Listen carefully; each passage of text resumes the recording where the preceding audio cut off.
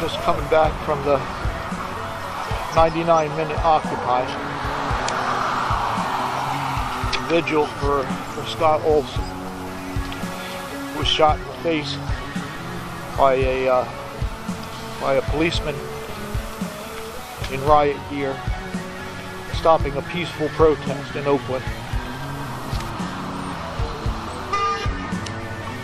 It's kind of strange because while I was at the protest, uh, somebody came up to me with a video camera and asked me why I was there.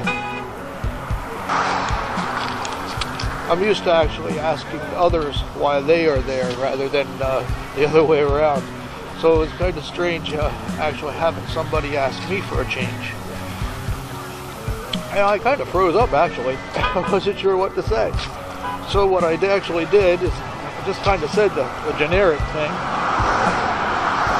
That uh, the reason I was there was massive debt.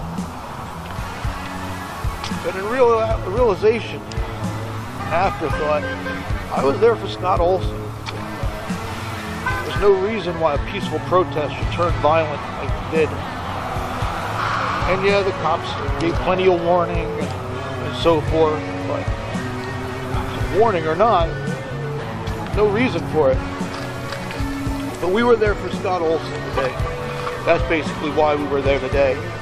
You know, we were there for the banking thing and the Wall Street thing today we were there for Scott Olsen. God bless you, Scott.